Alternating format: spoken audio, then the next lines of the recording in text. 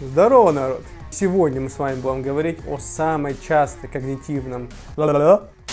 Сегодня мы с вами будем говорить о самом популярном когнитивном искажении, то есть ошибке мышления, под названием чтение мыслей. Данное когнитивное искажение приводит к куче проблем, и сегодня я вам расскажу, каким именно и как избавиться от этого когнитивного искажения.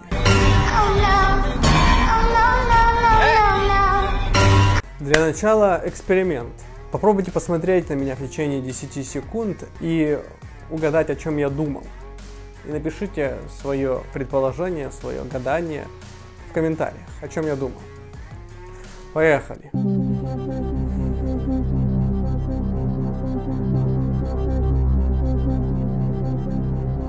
Я думал о коте-барабанщике. Кто-нибудь угадал?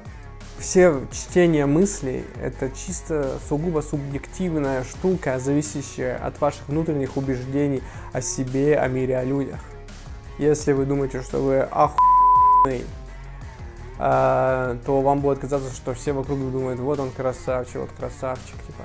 А если вы думаете, что вы, допустим, тупой недоумок, то будет вам казаться, что сейчас кто-то вам что-то хочет вот сказать, типа, уловить вас в, в каком-то затупе. Эм, э, как? Он должен быть умным. Что еще? Ну, все самые хорошие качества, что есть. Сука, дебил. Тихо. Самое ужасное, к чему могут привести когнитивные искажения, это к самосбывающемуся пророчеству. Это, допустим, когда вы думаете, что коллеги по работе не хотят с вами общаться и вас недолюбливают. Вы закрываетесь и сидите у себя в углу и не общаетесь с ними. Они же, в свою очередь, видят, что вы, что вы что там закрылись, не хотите разговаривать, и они не хотят вас напрягать, и поэтому с вами не общаются, э, чтобы лишний раз вас не напрягать. А вы, в свою очередь, думаете, вот, не общаются со мной, видите, я прав был, что они меня недолюбливают и не хотят со мной общаться. Хотя дело тут чисто в реакциях. Поведение других людей зависит исключительно от вашей реакции, поведения. Я тебя бум-бум-бум, ты меня бум-бум-бум. Если вы думаете, что человек хочет на вас э, наорать, и вы сразу же включаетесь в контратаку, так смотрите на него и так злобно немножко что-то хотите сказать, он уже э, смотрит на вас, думает, что это ты так на меня смотришь, типа, э, и тоже может насторожиться, начать смотреть серьезно, и э, факт притягивания вот этого вот самозывающегося пророчества ввиду своих реакций иррациональных происходит. Или, допустим, у вас порвались там, не знаю, штаны где-то, и вы так закрываете это место, думаете, что вот сейчас все сюда смотрят, а вы только об этом и думаете. И люди не могут читать ваши мысли. Э, единственное, что они могут сделать, это обратить внимание на вашу реакцию, что вы ведете себя как-то неестественно, что-то вот там закрываетесь, так как-то так наклон... укрываете что-то могут обратить внимание, что именно вы там закрываете, и увидеть вашу дыру. А если бы вы уверенно вообще они не думали об этой дыре и так щеголяли, как бы, то велика вероятность, что вообще бы никто и не заметил эту дыру. Но, конечно, могли и заметить, если она вот такая. Так что же делать? Как не читать эти надуманные мысли других людей? Как только вам пришла мысль о том, что кто-то подумал о вас что-то плохое, спросите себя, а где доказательства? Он вам об этом говорит. Доказательством будет, если он вам об этом прямо скажет в лицо. Тогда да. А так он может думать о чем угодно. Жена, придя с работы расстроена, э, может быть далеко не из-за вас, а потому что у нее на работе произошел какой-то конфликт.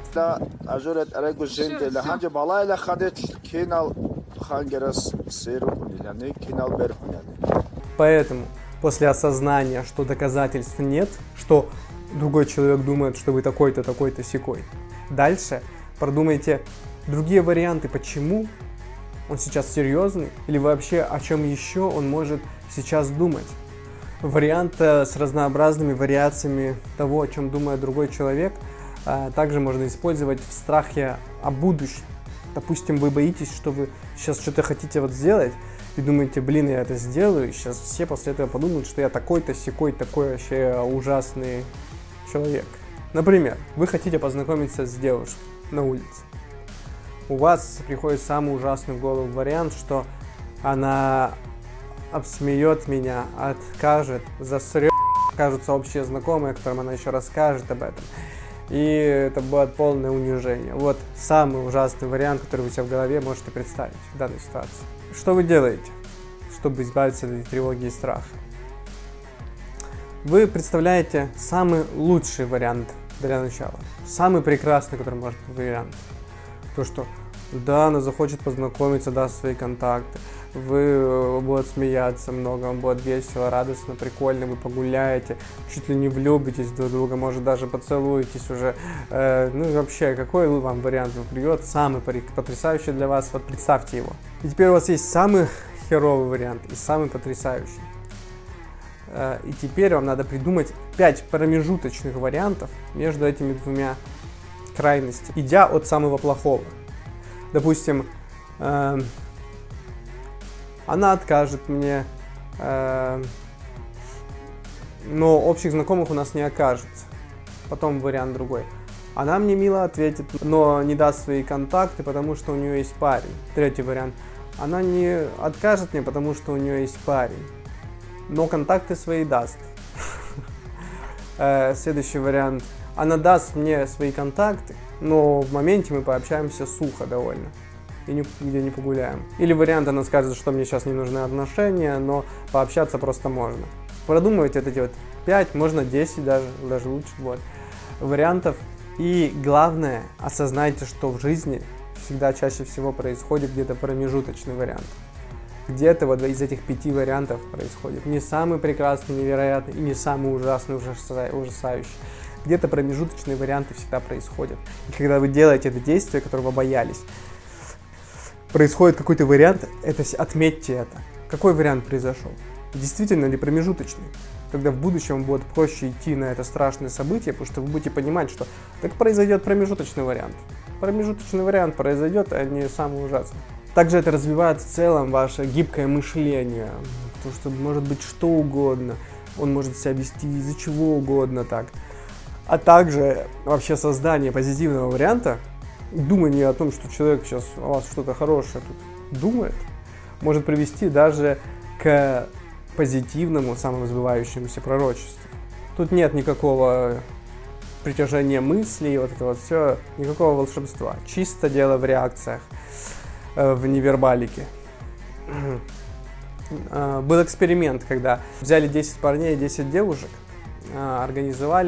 э, организовали 10 свиданий но десятерым перед этим сообщили, что вот человек, с которым вы на свидании, сообщил до этого, что вы ему не привлекательны. А другим десяти сказали, что человек, вот, с которым вы сейчас на свидание идете, сообщил, что вы ему нравитесь больше всех из предложенных партнеров. Там никак не подбирали характеры, ничего.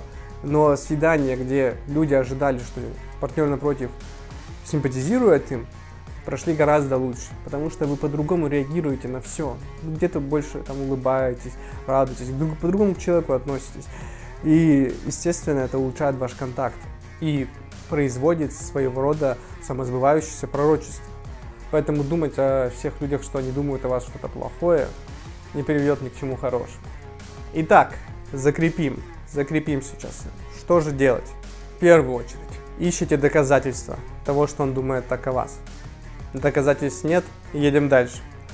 Придумывайте другие варианты того, как вот человек может думать сейчас о чем. Там, о работе своей, о девушке. Или может думать о вас, что вы вообще красавчик так-то. Закрепили эти варианты тоже. И далее вы погружаетесь дальше в свои привычные, в то, что вы и делали до этого. То есть вы же что-то делали, делали, хоп, человек зашел, вы такие, о, он думает там что-то про меня, такие, так, а где доказательства? Доказательств нет. А чем он еще может думать? О том-то, том-то, о работе, о том всем. Может он думать, что я вообще молодец так-то? Да, так-то может думать. Что угодно может думать. Э, я не могу читать мысли чужих людей. И дальше начинаю занимайтесь своими делами дальше. То есть сделали все эти когниции правильно, и дальше погружаетесь снова в свои дела, которые вы делали. То есть прям четко про себя проговаривать. Доказательств того, что он обо мне так думает, нет он может думать о чем угодно. Об этом, об этом, об этом. Люди не умеют читать мысли других людей. И в свои дела. Также помните об этом и когда вы хотите что-то сказать другому человеку, то, что вам не нравится, допустим. Люди не умеют читать мысли ваши, и он ничего не поймет просто так. Вам поможет здесь только тайная секретная техника рта. Просто скажите ему об этом. На этом все. С вами был психолог Александр Батуров. Пока!